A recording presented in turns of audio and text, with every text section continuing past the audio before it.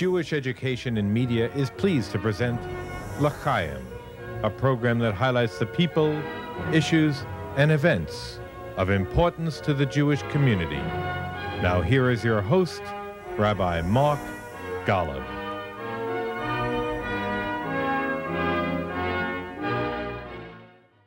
I'm Mark Golub, and the telling of tales, as the late Elie Wiesel taught us so well, is at the heart of a culture's self identity.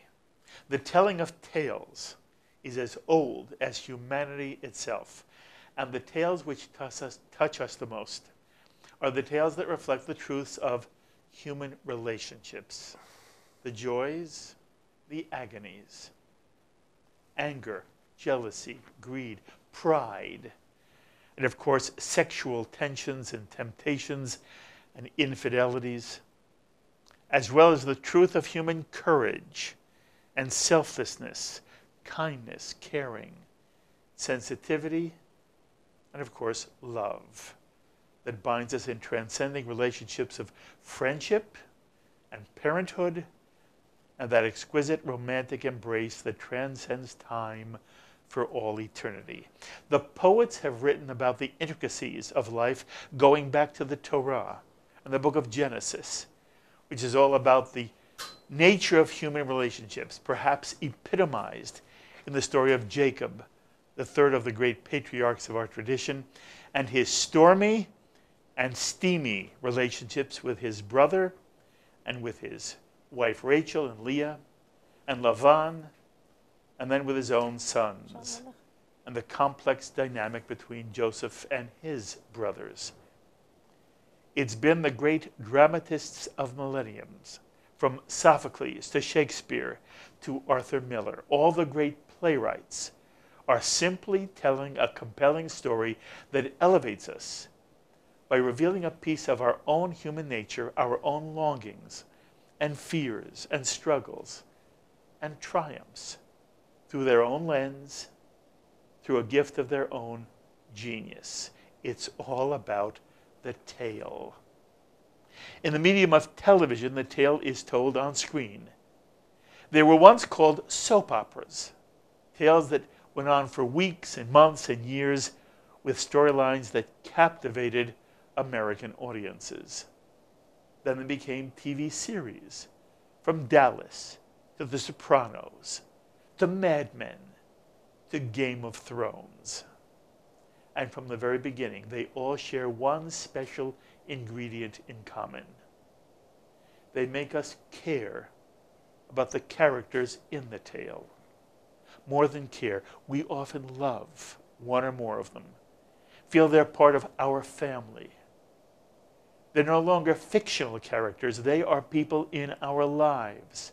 So much so that very often the actors portraying roles on stage or on screen receive cards and letters addressed to their characters. And we all understand why.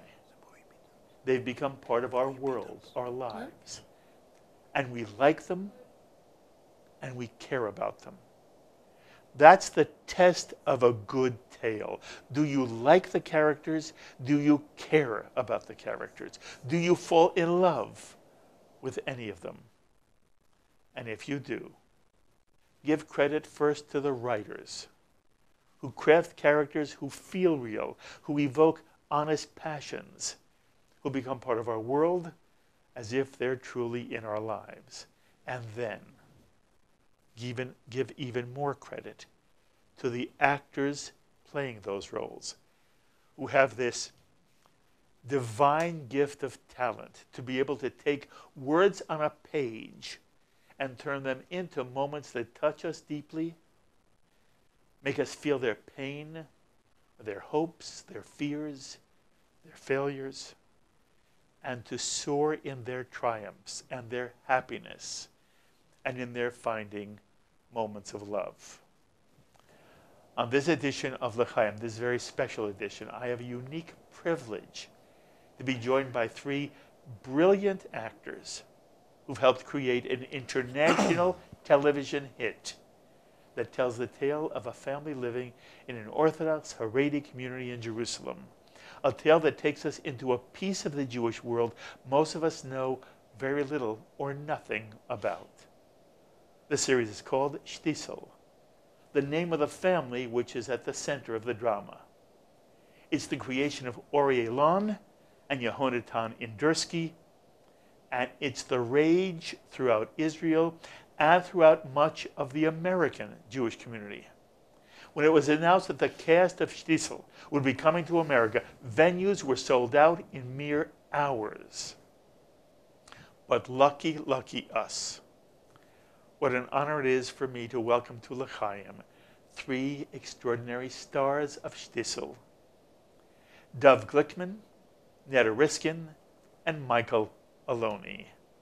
And it is thrilling to have all three of you on set with me. Thank you so much for taking the time to do this. I am I am in the presence of three great actors and I am humbled and thank you so much for being here. All three of you. Thank you. Thank, Thank you. you Thank very you. much. Thank you. Thank And let me tell you just a little bit about each of these three accomplished veteran Israeli actors. Dov Glickman plays the patriarch of the family, Shulem Shtisel. He's one of Israel's outstanding actors, playing in Israel's longest television show for more than 10 years, a weekly satirical show. Dov Glickman is the recipient of numerous Best Actor awards, including two Israeli Academy Awards for Best Actor for his role in Shtisel. Neta Riskin plays Shulem's daughter Giti. She's also received numerous awards for a large number of Israeli films and TV shows. Neta Riskin also was responsible for teaching Natalie Portman to speak Hebrew with an Israeli accent for the film A Tale of Love and Darkness, in which Neta was also featured. And Michael Aloni.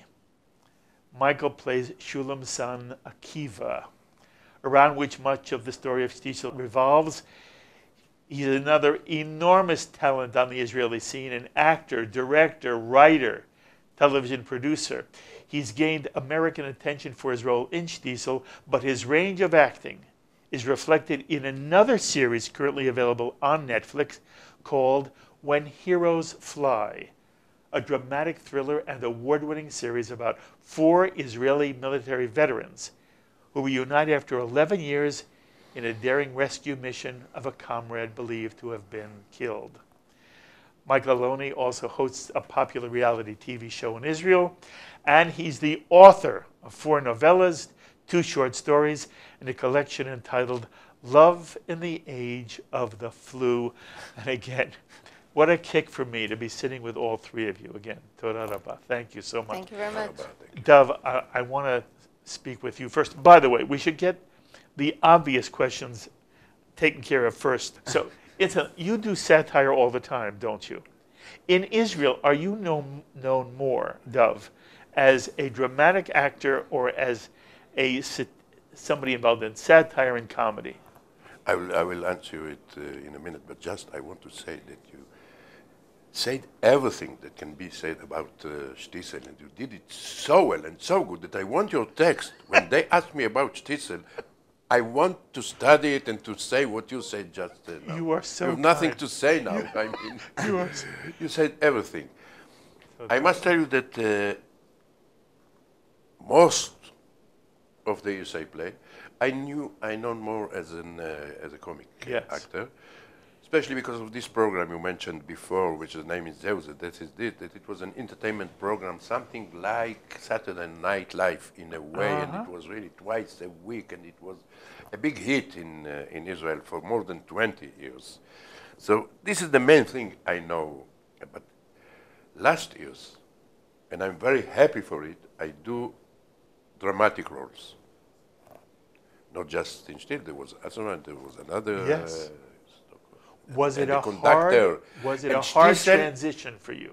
but I want to tell you, Shtisel Yes. is the role who made me more satisfied than any other role I did. It's the most thing, because it had so many levels. It was the hardest because I had Was to wake up five, five, hour, five uh, uh, AM. early I have no in- in, sympathy the for you. morning, and then they took me and Yeah. they know, and they uh, one hour and a half to put the beard and to put everything in the tummy, and uh, So the beard and then was to, fake. and then to wear Yes? more Here in the belly. Yeah, All right. fake. And, the, and Okay. then after it, more than uh, more than twelve hours to shoot. But that wasn't the hard hours. part. The hard part is becoming. No, it was the hard part. Becoming, yes.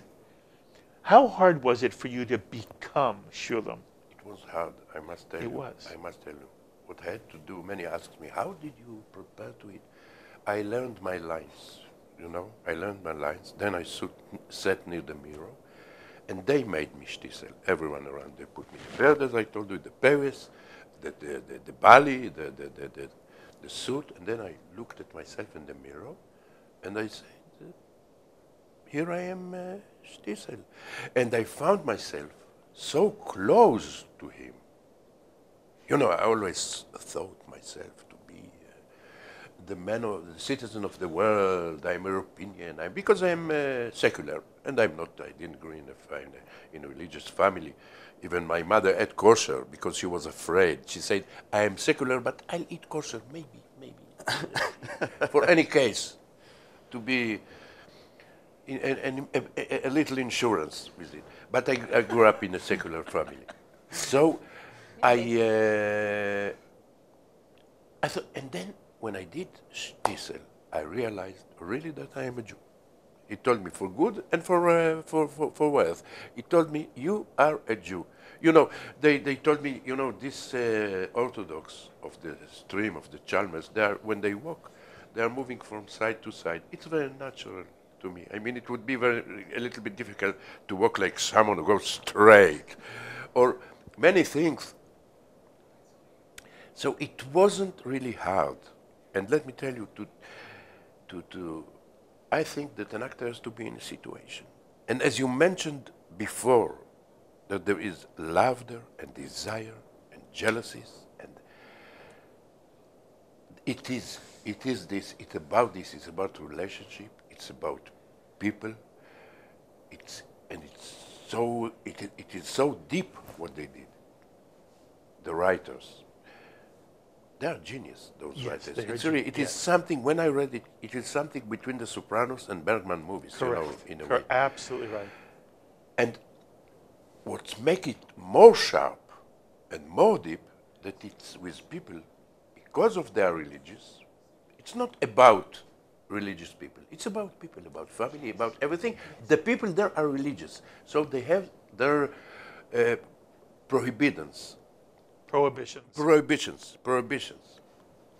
You saw? I told you I hardly know one. You know language. English beautifully. So it's with prohibition and to stand in front of God every day makes sharper all this psychologically issue that it is in Shtisel. Okay. With Dov raises a question I really wanted to hear from all three of you. Secular, secular, secular. And now you're playing Haredi Jews. And by the way, understand, and sometimes the audience falls in love with a character and thinks that the actor is that. So the American audiences watch The Sopranos. Well, Gandolfini is not a mobster. None of the people in the move in the series are mobsters. These are great actors playing mobsters. Mm. And Jews who watch here in America have to understand. You're three wonderful actors. You're playing Haredi Jews, and then what you just said is so true. You're playing life. It happens to be in the context of Haredi Jews. And what I wanted to ask you, and then I want to hear your story, was has it changed the way any of you feel about being Jewish or about being Israeli? Because you didn't start, you said very well, Dov, you start as a secular Israeli, and this was a world that was foreign to you. You may even have looked at it askance. I don't know how the two of you looked at it. But has the experience of playing a Jew in a Haredi community, has it changed anything about the way you feel Jewishly? Has it changed any way the way you feel as an Israeli? Neta, what do you F- say? First of all, I wanted to say that um, about two, three years ago, I was walking on the street with a friend of mine, my boyfriend at the time, and we were, I don't know, hugging on the street, and there was a, a guy walking towards me. he was a, a Litvak, which this is a thing I learned on Shtisel because I, I, I couldn't tell before if it was just black clothes and a beard that was Orthodox. And he stopped and he looked so shook. I mean, he was so in, in a very bad way. And he asked me, Are you Giti? And I said, um, I'm not, but yeah, okay, I'll be Giti. And he said, he looked at me and he said, What a disappointment. I thought, I thought you were real. Yeah. Okay? Oh. So I said, I, I am real, but not, not as Giti. And he said, No, I thought you were real. And he just, he, it really, I, I ruined his Ah, life. I yes. How did you feel? He said she's a liar. I, I feel very good about it ruining his life. No, because the, for me the biggest compliment is that people think it's real, you know, and Yes. and um, that means we did our job well. So Beautifully well, by the way. yeah. But also, my, also, you know, the, the girl who plays my daughter Shira, she went to Jerusalem, and some people asked her if she needs money, uh, if, if they can donate money to her so she Yes. can give it to me. Incidentally, this may not be fair what I'm about to say, and I gave thought what I'm, but I, given that story, I want to tell you something. All three of your roles are very complicated, and that's true of any good role. When you talk about the writers, they have written tremendous storylines and great lines and great scripts. In some way, though, yours is the hardest part, because Kiva is big, and Dov is big. And Giti isn't so big, and it's a very fine line. And you have done it magnificently. And what you've been able to do is create empathy, and this your character grows. And it's not like yours don't grow too, but yours. What if one watches the first couple episodes of of Shtisel, one understands right away who Akiva is. One understands right away who uh, Shulem is, and then it's interesting to see their own arc and where they go and they develop. And I cannot tell you how much I adore, I adore what you do. I adore what you do. Thank you. I adore all of you, but there is something you were gifted, and it's interesting. You told me before we started on camera you didn't even plan to be an actor. No. You're very gifted, but you do something magnificent, and I, and I hope everybody who meets you in New York and L.A. and wherever you go tells you what a fabulous job you did. So the story you tell me of this cousin on the street who gets all upset because you're not Neta, you are Giti. Oh, So Mazal Tov. Now I come back to the question: Yeah. Has it changed your own self-perception as a Jew at all? And boy, I'm not looking for an answer. If the answer is no, it doesn't bother me. I don't, I don't know. Look, every each time I play a different role, uh, Yeah. and I can't always uh, become. I, I, I'm not taking it that much into my life. I Yes. mean, I. Do you want me to tell you that I um, I I became religious? No. no, no. I'm Jewish. I don't know. It's a it's a cultural thing. I'm, I'm I grew up in a Jewish country, but you have to also to understand that in Israel, the poles are very extreme. I mean, the secular people and the religious people, Yes. they do not meet. Yes. And in the U.S., it's more. I mean, you can be somewhere like you have this cr- strange thing called reform. What is it? It's either you're We extreme ortho- orthodox or you're a complete atheist. It doesn't go. You know, it's like water and oil. We don't mix. You know. So it was interesting in a way because it's a society that was very strange to me. I'd never talked to anyone from there. I never been to those neighborhoods before. I never, I, I you know, that I had to be taught. I mean, we, really as seculars, we know nothing. I, I don't know, least us, we, we don't know how to be Jewish. Okay, we just have it in our, in our passports or something. So. Uh, in our genes too. in our genes yeah but i don't know how to practice so we had uh, uh, things that i had to we had to learn Like everything um, blessings shabbat dinner how to sit how to move how to they had to ah, you are talking about walk. rituals. yeah don't but we this. had to uh, That's right. we, we really knew There was no Shabbat in your home growing up as a child. no Where were, where did you grow up?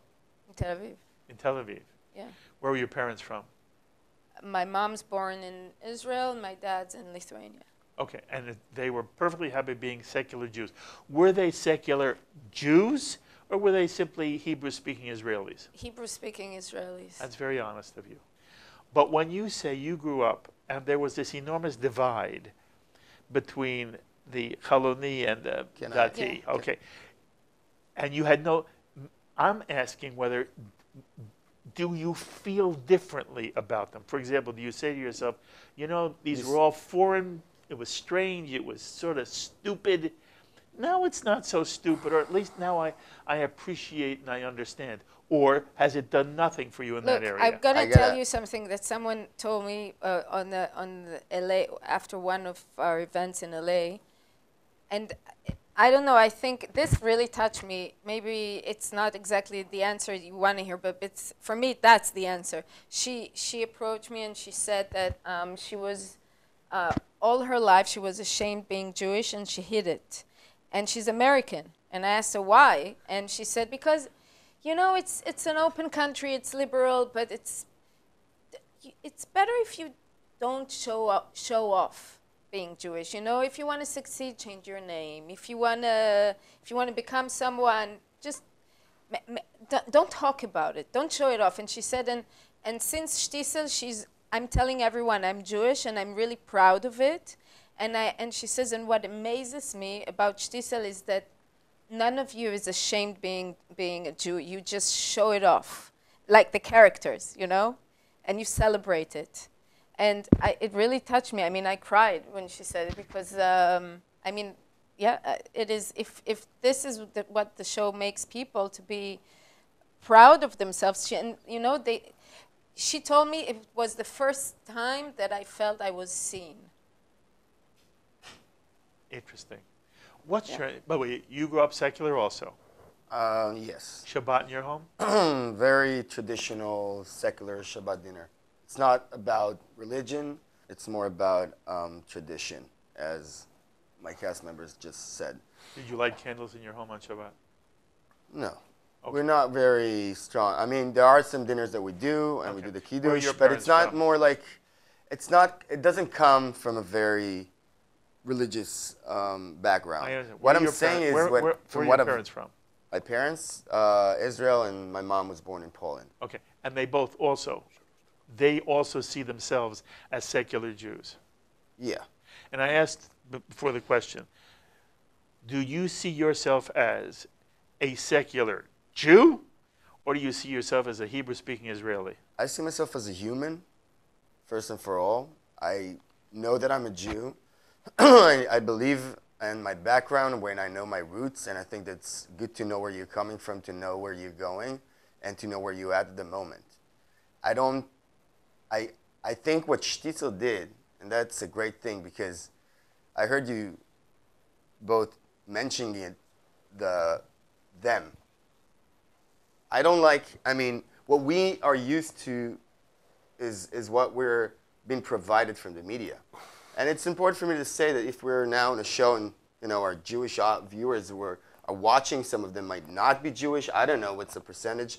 I guess most of them, but we have the chance that maybe I think Shtisel, with everything that we said about the show, made a great impact in the fact that it was able to connect poles in society and also connect human beings as for who they are. Because I think what plays mostly and most strongly in this series is the fact that it talks about humanity. Mm-hmm. We are all, you said it yourself in the introduction, it's, we're all having same dreams and hopes and disappointments. And, and to tell that human story where you have this, you know, you look on the other side you look on the other side always because that's what the media or, or you're feeded from stories that you know that behind that wall there's this mystery of them and us.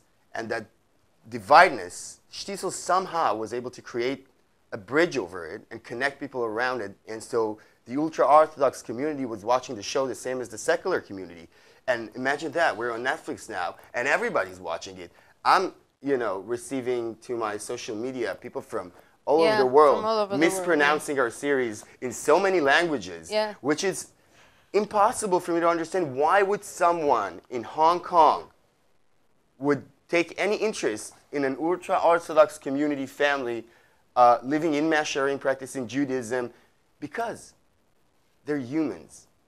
The definition of who you are is what are your principles? What do you live by? How good of a person are you, and what do you want to send to the world as a message? I'm happy that we had the chance to tell a great story by great writers and also have like this tiny little side effect of maybe changing the perspective of other people of how they see themselves and how they perceive this other side that they didn't know about and they only learned from other resources. I want to ask you the same question. Has the, did your experience change your view of Haredi? Did it change anything inside you as you as a Jew? In a way, yes. I want to tell you something. Mark, some weeks ago, we, some weeks ago, I read uh, an interview with an, uh, a Swedish man who sent here as a as an overseer for the for the for the issue for the Israeli-Palestinian issue. He's a Christian.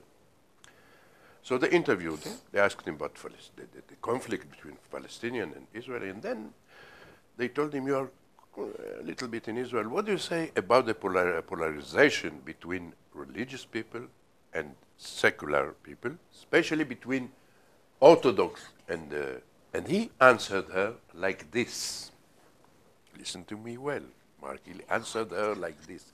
I see now Shtisel, and I can tell you, you are so similar one to the other. It's unbelievable, he said, because I see Shtisel and I know mostly the secular, and you are very similar. So, and I think he is right. That one thing I learned. He's right. We are not the same. No one is the same, but we are similar.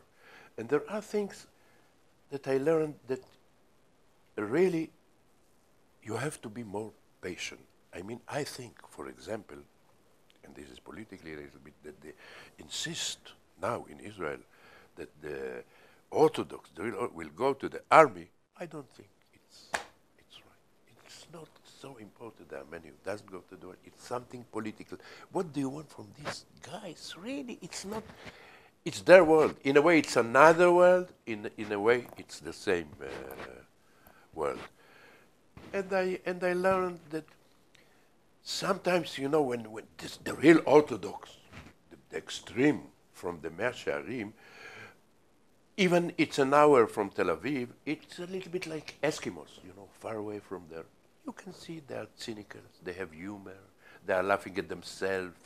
We are really, we are really similar. And uh, we have the same humor in a way. It's a Jewish humor, you know, and it's a,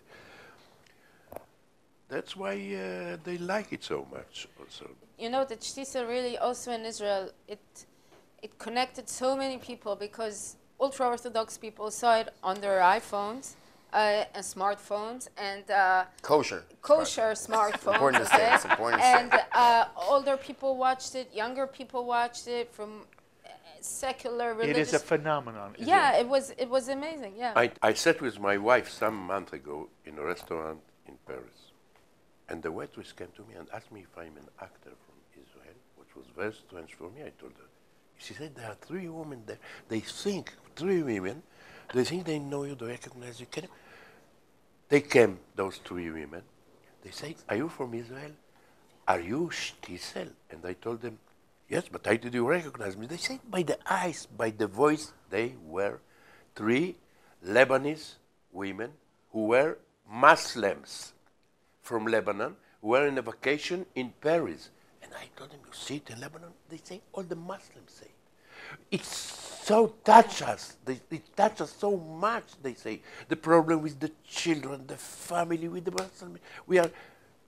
So maybe I thought to myself, Cesar can bring peace to her. Maybe it can. Yeah. And the Amen. bring peace. The two, I have to let the two of you go. You have another meeting. I'm going to continue with Michael Aloni. I, I am hoping every single one of you watching L'Chayim right now here on JBS has already seen the series. It is for free on Netflix, both seasons. And if you haven't watched, you're missing something extraordinary. And You know, Michael, we, we talked about it a By the way, ago. if you did watch, it's pronounced as you just said it, Stiesel and not Schitzel, which everyone is calling it Schitzel. Are you serious? Yeah, that's everyone. Oh, Schitzel. That's how they uh, call me uh, across the street. Stitzel, Schitzel. Yeah, Here in America? yeah. That's uh, mispronounced with a T, which is more like, well, you know. Yes, I know. In Israel, they get it right, don't they? No. Also They're wrong. also mis- Schnitzel. They're also always mispronouncing. I just came back from uh, Brazil. I did some work over there, and someone down the street, all of a sudden, a valet guy. Imagine that. Uh, Christian Brazilian valet guy yells, "Kive, come Right. here! I want to take a." he wanted a selfie, and that was incredible, you know, because it's just to see the effect of, and they call it schnitzel or something like that. It was like even hard for me to mispronounce. Interesting. By the way, it's interesting because we have the picture of you from the actual series behind you. Do we look the same still, or You look the same from here on up. I, I assumed that was real. Did you grow that for the for the well, series? It's uh, it's uh, I have a cool story behind it. Please. So on the first season, as you mentioned, I'm hosting a big reality show in Israel, and for for the beginning of the shoots, we shoot it for about six months. Yes. Um, but imagine we do it um, in a very small budget. It's a very low budget, meaning that you go on location, then you shoot all the scenes in the location, and then three months later, you'll shoot the outdoors of the same location. The indoors were shot in Tel Aviv, the outdoors were in Mea Shearim, Jerusalem. Say, for example, I wake up with, uh, in the middle of the night because my dad is snoring, and I walk, and I know that I, I need to go to the balcony. The first AD tells me before we shoot the scene, but Michael, remember, in three months from now, we're going to be in Jerusalem. It's going to be cold. This is summer in Tel Aviv. Three months from now, you got to have a blanket with you. So I take a blanket with me, and three months later, we we shoot the immediate cut from that thing that we shot three months ago. You, you got to hold the emotional state of the character, and it's really hard. And you got to remember the exact um, state of mind that you walk through that door. But also for editorial reasons, for the first season, I grew this beard. It's my beard. I had a really big, thick beard, and I grew the beginning of my payas. And what you see here is the extension, hair extensions That they added. that they added to my my my payas, where where I was walking around in Tel Aviv. Didn't really help with the girls, by the way, with like a long beard and weird kind of hair side hairs that were popping uh, here, and, and and so I was shooting. Came the, the the minute that I had to shoot the voice in Israel, so they told me, "Listen, we can't have you like this."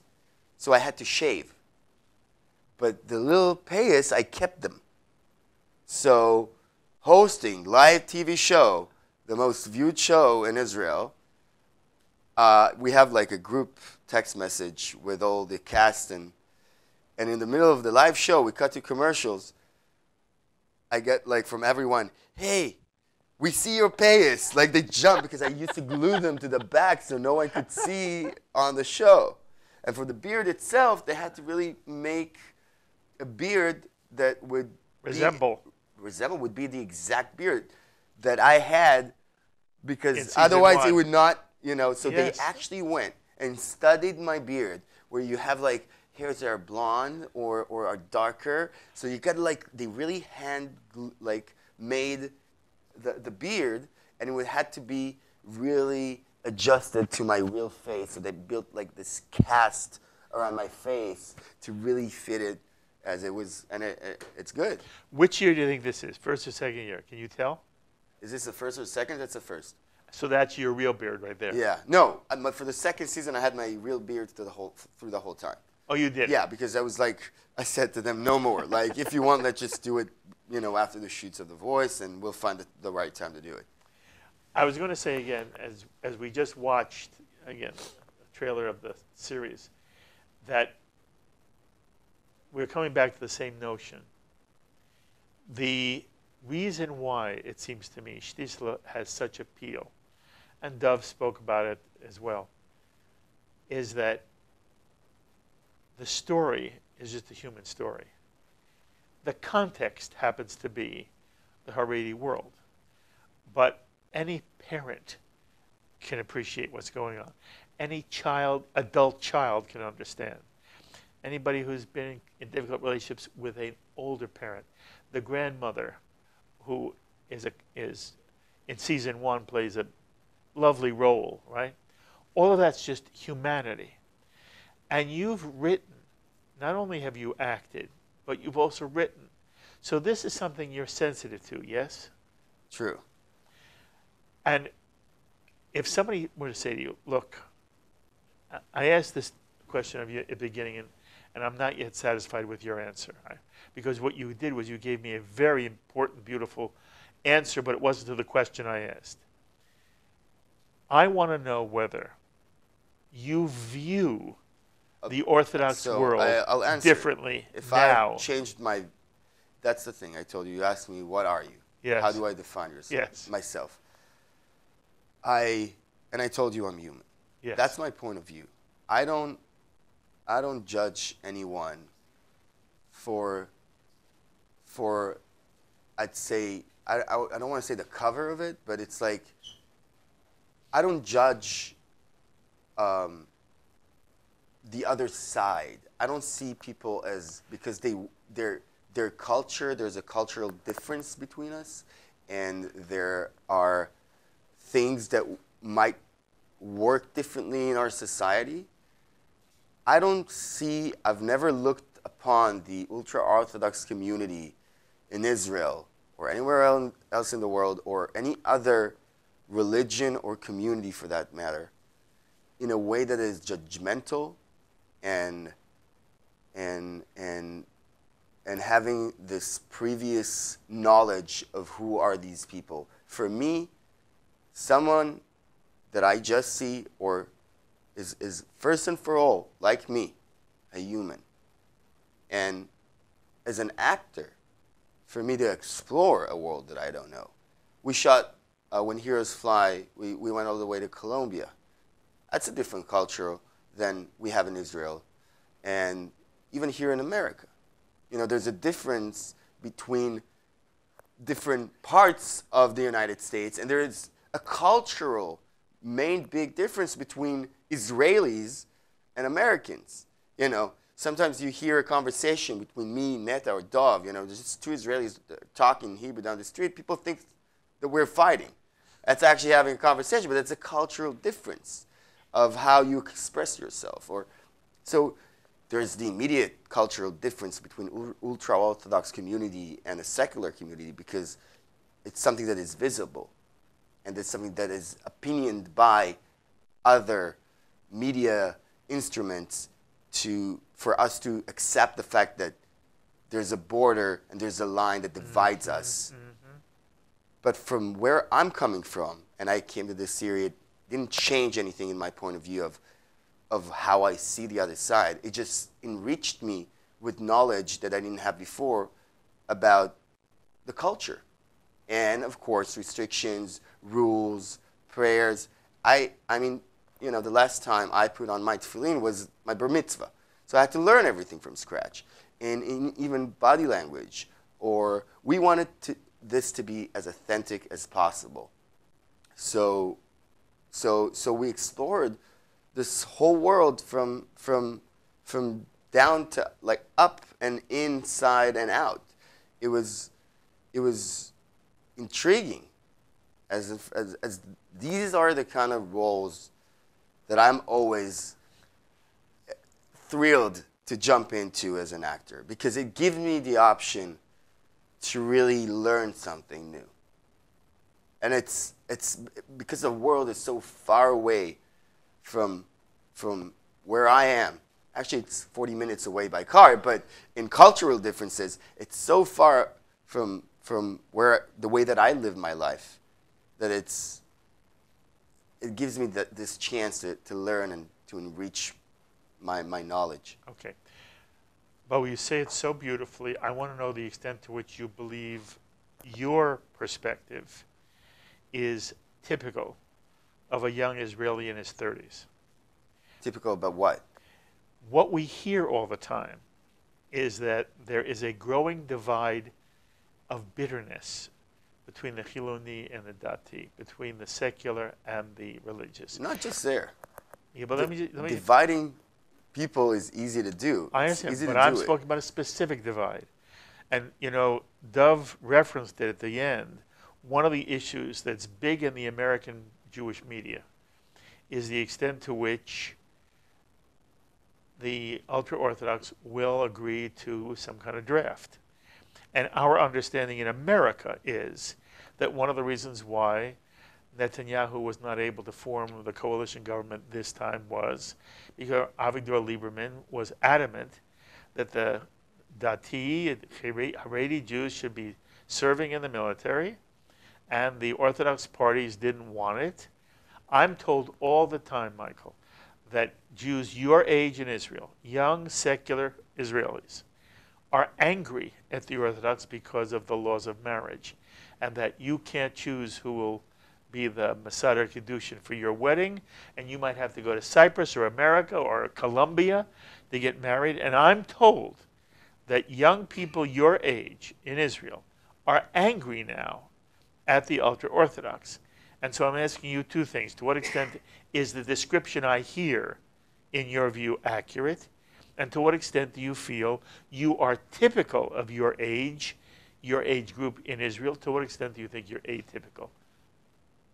I don't know. It's for someone else to judge.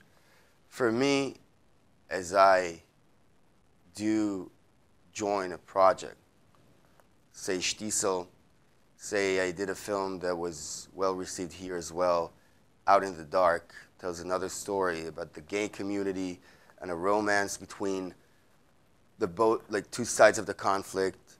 And there are subjects that are dealt with as as people who who who wrote the film or the series, and if if sometimes you know the message they're conveying, it's not for me to carry um, the flag for for I don't know uh, raising uh, uh, or giving an answer to resolve in in in a, in a in a political matter. I will leave that to who Okay. is actually running right, running that I that don't that, need, that I don't need you to resolve anything for I me. mean- I want to know, uh, but I do need you to describe something for me. And what I'm asking you is, and the answer could be what you said at the beginning. I just don't know. And if you just don't know, you just don't know.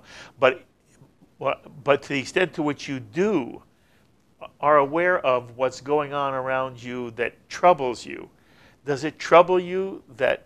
what troubles me Yep. is that, and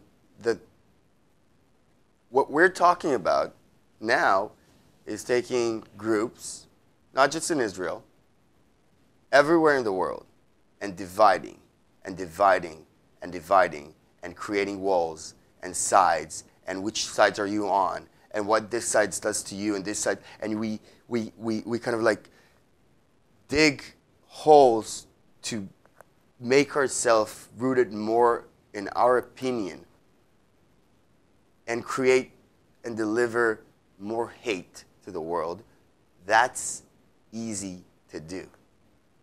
The hardest, more invested, long term work that is the hardest work that is that is need to be done and it's the hardest that to, to do is to love. Mm-hmm. It's just easy to hate. To love is a much stronger and harder way of, of, of sending that message. You think it's easy, it's not. that I want to ask you a, a tougher question in my mind. And again, it's a question I've wrestled with as I watch Shtisel. You know, eh, you're a writer and an actor. So you know that what the writer tries to do is try to write as honest a reality as the writer can possibly write. But the writer knows that there's always some limitations because of the art and because of the medium, in this, in this instance, television. And so I had people who have who did the series Fauda. Are you familiar with Fauda? I heard about it. Okay. And I said to somebody who was in Fauda, and he was part of a, a similar combat group before he became an actor. And I said to him, well, I know what- the guy. Okay. What extent of the series that we watch is real and what is made up for television? He said, We do a pretty good job. I think about 70% is real. And I thought that was an honest answer. So I'm watching Shtisel and I'm saying to myself, I wonder what the answer is to that series as well. Are we romanticizing a world of Haredi Jewish life, which, if I had a Haredi Jew here, would say to me, I'm glad there's Shtisel, it's nice, but there are things about it that are not honest. And I want to know if you have any feeling about that one way or the other. As you look at the series, are, do you think it is a romanticizing of a world which is complex, complicated, and of which there are things that make you sore and things that make you say, you know, this is some of the lesser aspects both of the Jewish world and humanity. The answer is easy for me. It, it represents almost 99.9% accuracy of, I don't know if this world, but Neta said that when she spoke about how people was somehow disappointed to realize that she's not real. And it, you know, it happened to me too when we were shooting the second season. It was shot with a hidden camera because we can't really have a camera in Mea Shearim. And for the first season, no one recognized me. And for the second season, people were like, Kiva, come here. I want you to meet my daughter. Which, which was harder for them to, do, to differentiate between the character and the actor, meaning this world for them, and coming from a lot of people from that community that I spoke to, was represented for the first time through the eyes of, of, of actually so authentic, in, in the most authentic way possible, and not judging. That's lovely. So, yeah, I think you mentioned all the series that you mentioned before from my favorite series, you know, it's Sopranos, and, and, uh, and, and you, you gave a great example with uh, Mad Men. I always, when I read the pages, I thought Sopranos, and, and, and especially at the time because I was watching Mad Men, and such a great series. And it resembles, in my mind, somehow the Shtisel in the way that it's just planted in that world in the late 60s and 70s throughout like the seventh, eighth season. But I mean, so in that world, um, you know, the way that, that women were treated and the way that America was at the time and the way that people dressed at the time, walking here on Wall Street with, with you know, hats and, and smoking everywhere. The, the cultural difference between how we grew as human beings evolved and changed. But the series, well, it raises the questions of, of you, you know, time and what changed, but it's just about these people. And it's just placed in that time. And I think Shtisel, in a way, is the same as it's just placed in that community. He's not trying to say something about that community. He's not looking to judge or raise the question of what we think about the ultra Orthodox community. I think you said it yourself. People fell in love with this series not because of the sexiness of mysterious close community. Even though it, it was even you know for me hard to accept how will people wa- will, will, will want to watch it. It's not uh, as you said Fauda or When Heroes Fly. It's not like a big action, a lot of I don't know you know romantic sex scenes that you get on on on your regular screen. It's, it's a hard topic to pitch to someone and also has Yiddish. So I think creating that feeling, feeling that, feelings at, at our, in, in our viewers' heart and, and mind, and, and it's because of, of the good writing and, and delivery of, of true, honest, real people that you can uh, identify with. And it doesn't matter that, well, in, in our case, are, are in Mea Shearim. And I told you before we went on camera, you are beyond brilliant. And what you do with this character and how you show a range of emotion and the viewer understands is a real gift you have. Thank you. How the viewer understands what's in this guy's heart and mind. And you should know, by the way, the softness you see here of Michael is something that is real. It's off camera as well. But you're able to convey softness in such a way everybody falls in love with you. By the way, you know, you're, you're, you're a marvelous, you're a good looking guy, you're young. Thank you. you are a heartthrob. You become a heartthrob. did you ever see your, did you know you were going to be a heartthrob? oh, thank you. All right. How do your parents feel about this series? Oh. How did your mother feel about the fact that her son is now a heartthrob? My mom's really happy. They're really supportive. I guess I guess she's just uh, sitting there with a big smile on her face. Well, I hope she is. Um, I want you to tell me what, a little bit more on camera what you mentioned to me off camera. When you were in, you go to high school, then you go, you serve in the IDF, or what do you do after Yeah. high school? Yeah, yeah. That's What, you- what unit? What unit? What unit? Combat unit. We're not going to that. We're just not going to that. Okay. Was it hard though? Um, was it hard? Yeah, I mean, it's just what you need to do. Okay. It is what it is. You come out of the IDF now. You and do you travel after that? Where do you go? The year after, the minute you get out of Well, your you know three the years. tradition. Yeah, I do. That's why I'm asking. Oh, so for our viewers who don't know, well, after you serve for three years, you tend to go for this journey, uh, either South America or India, to just travel for a year and forget about what happened in these three years.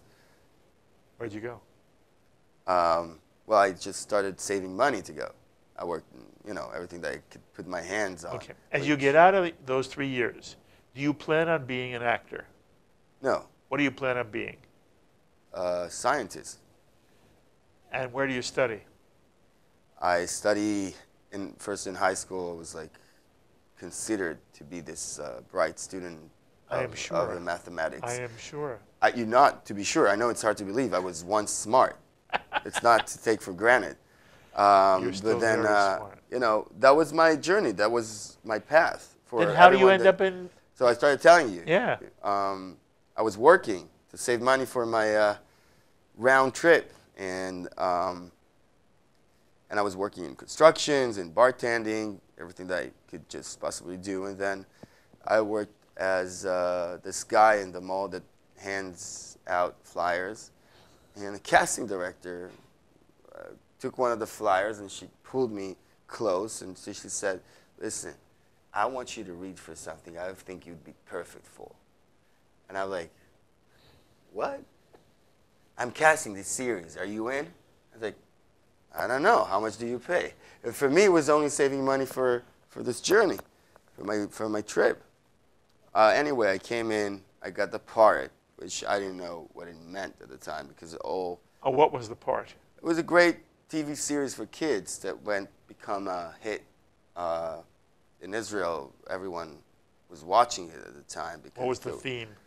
theme was like imagine say 90210 with superpowers, saving the world. So it's kind of like a sci-fi based on a youth television kind of show. And this casting director just liked the way you were handing out flyers. I don't know. I guess she uh, just She saw, saw something. something, right?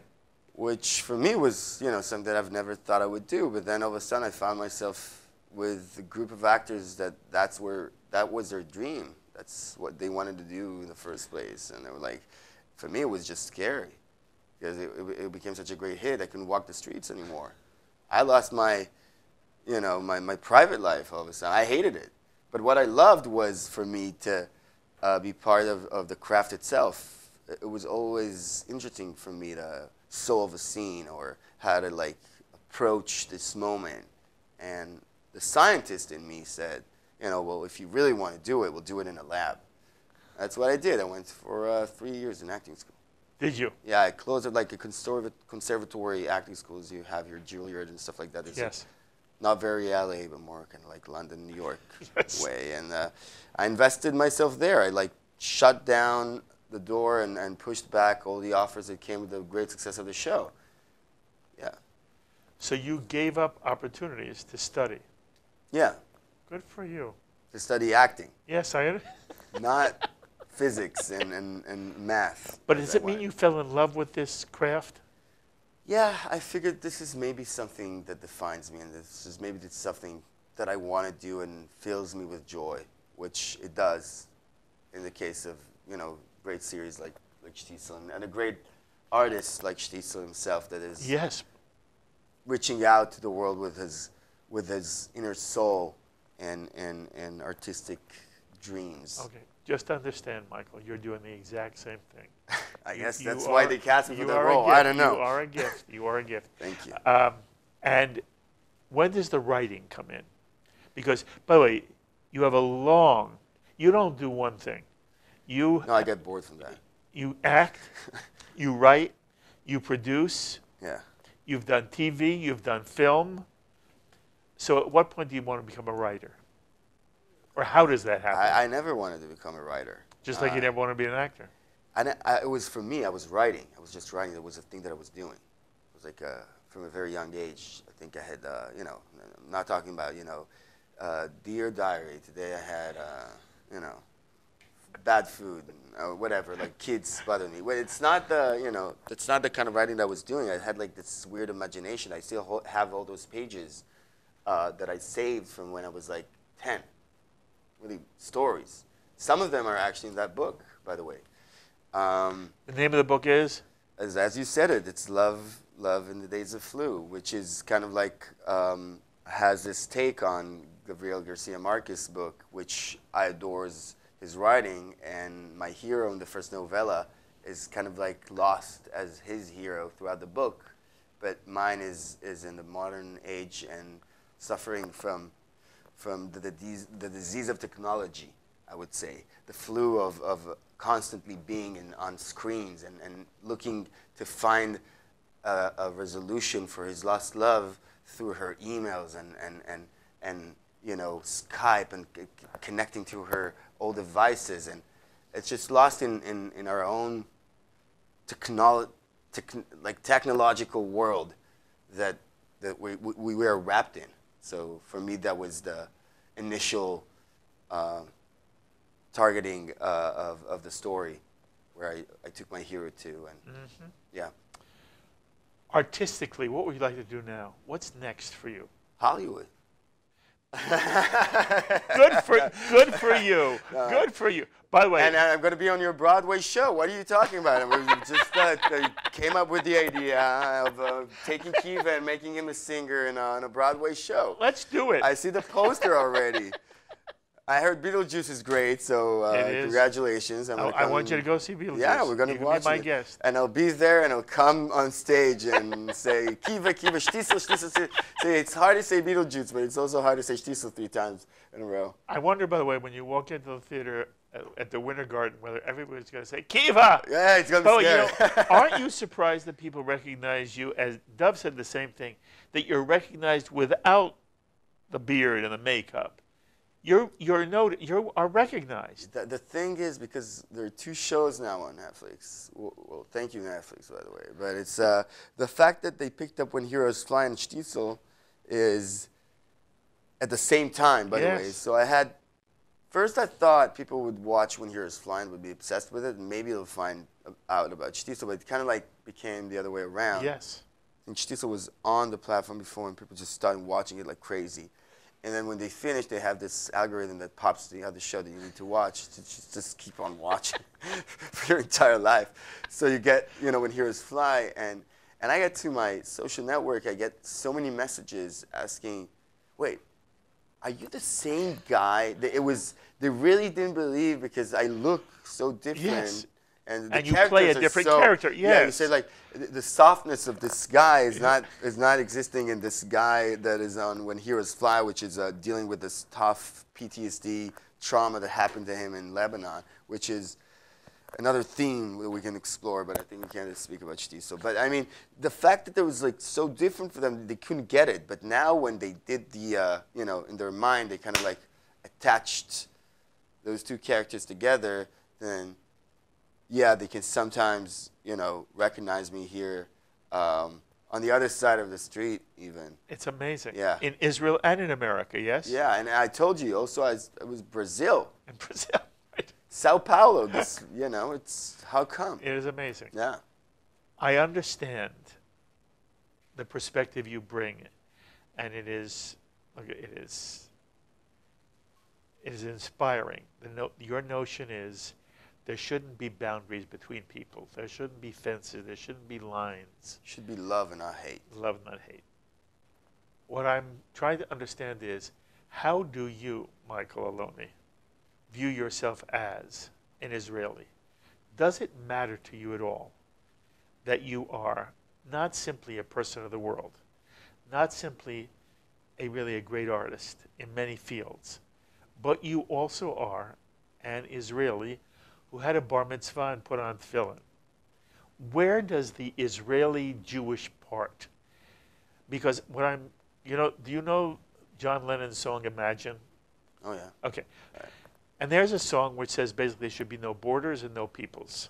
Yeah. And the problem with that is if there are no borders and no peoples, the idea that we should all be one, as lovely as that it is, there's also a price we pay.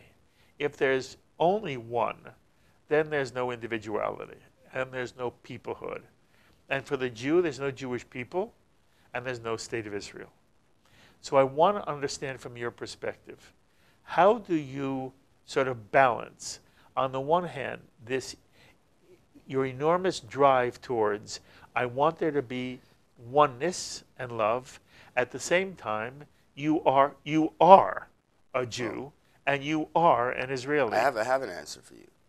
Um, first, you know, today we're at the point that the world, we don't know where it's going yet.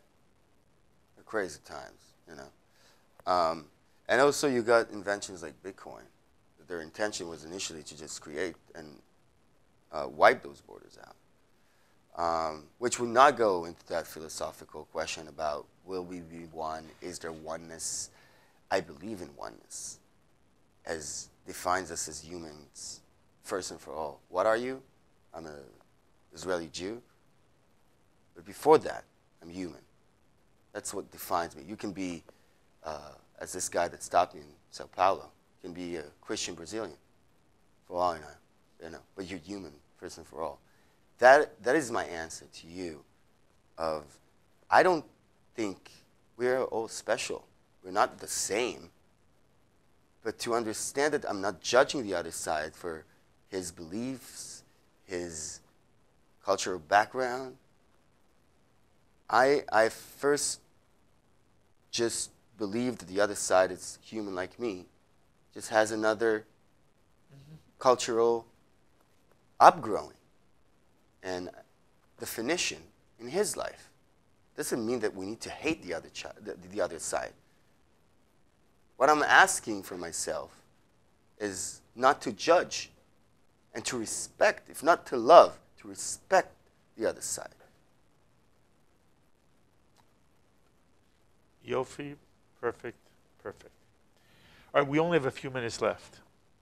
It would not be right for me to have you on as a cast member of Shtisel and not ask you the question everybody asks.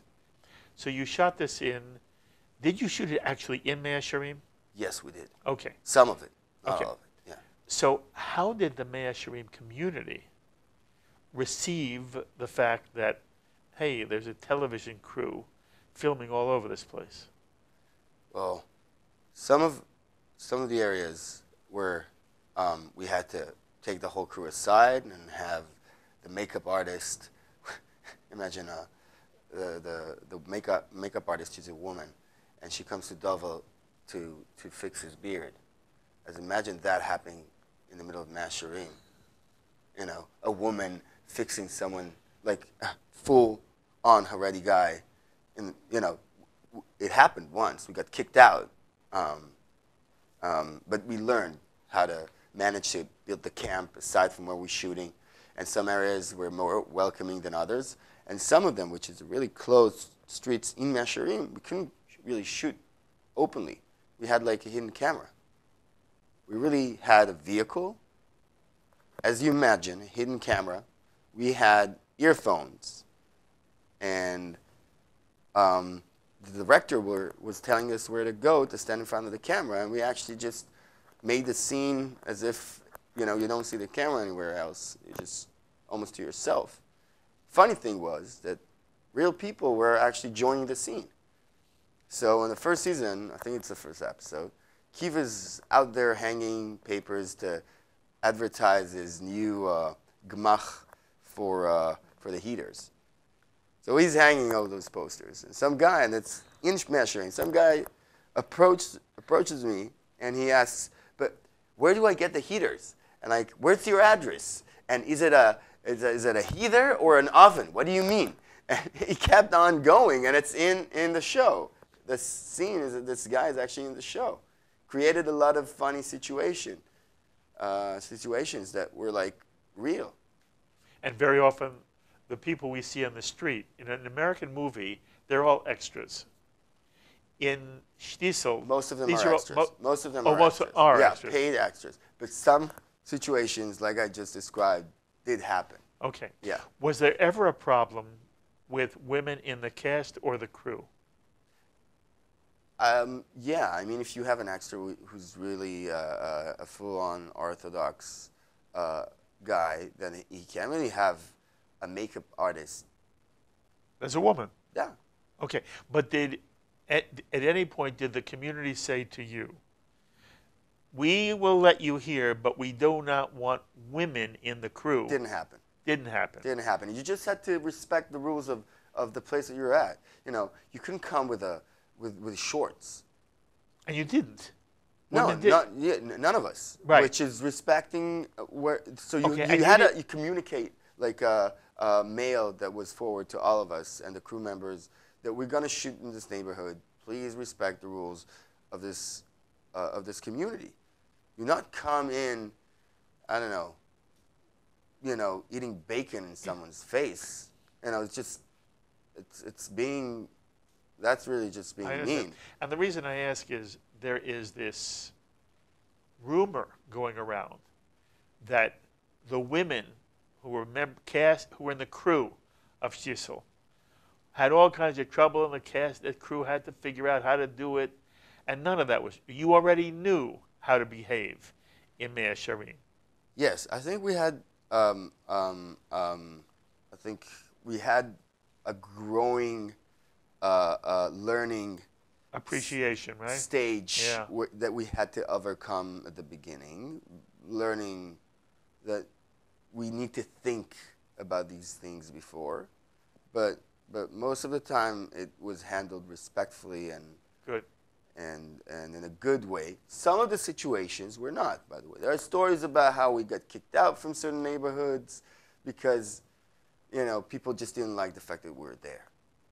And we can understand that too. Yeah, that's understandable. Yes. It's just when you have uh, uh, uh, all, all your authors, authorized documentation, then Did you meet the go. two authors, the what? the two writers? Did you meet them? Of course, good friends of mine. Are they good friends? now, of you? yeah, they, they they gave us one of the greatest blessing of all, which is this show. Which is script, for me as right. an actor, I kiss the pages. Like who's who's the writer? What, who wrote this thing? Okay, so since you now feel you know them well, and I don't have them here, just talk to our audience just for a moment.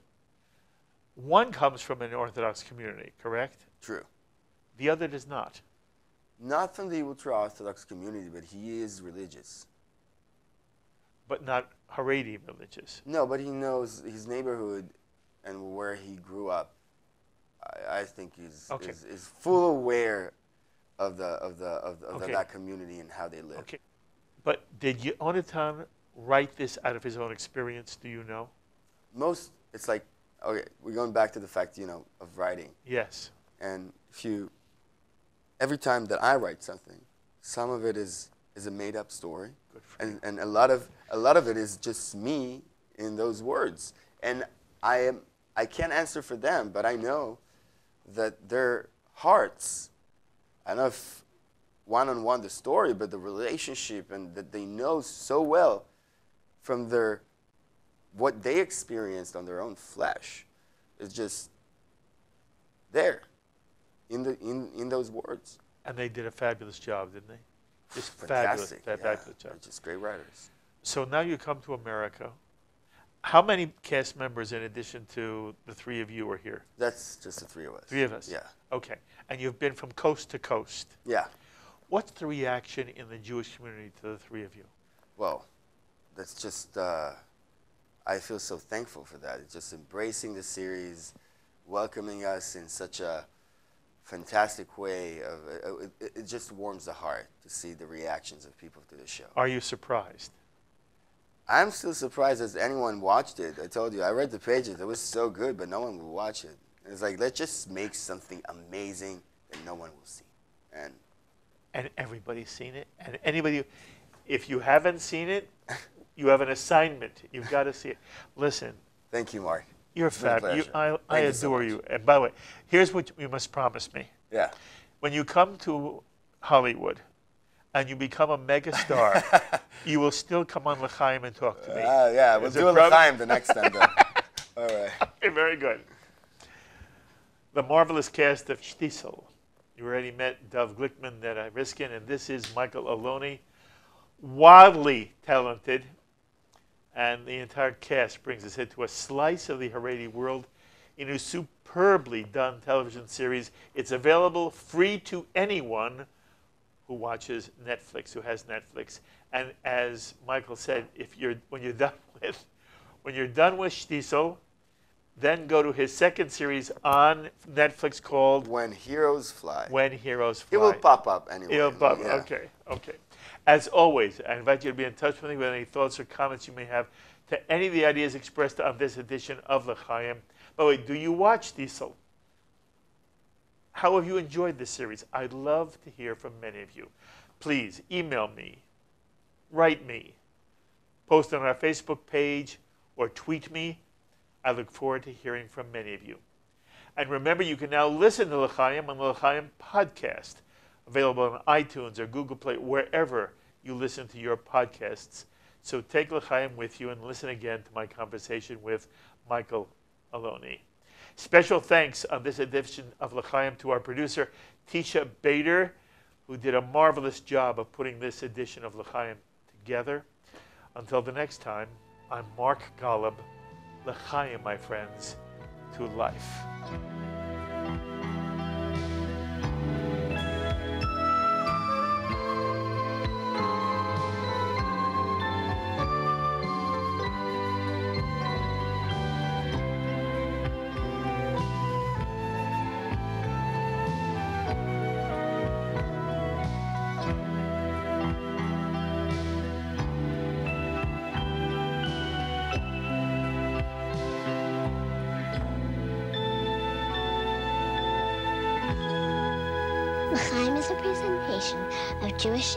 In media.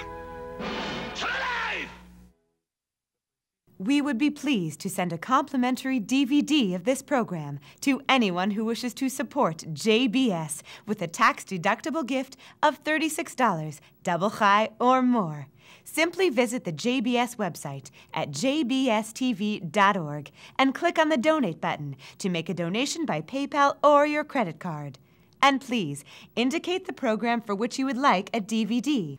Or you can send your tax deductible check to JBS, P.O. Box 180, Riverdale Station, Bronx, New York 10471. And again, please remember to indicate which program you would like to receive with our compliments. And we thank you for your kind support.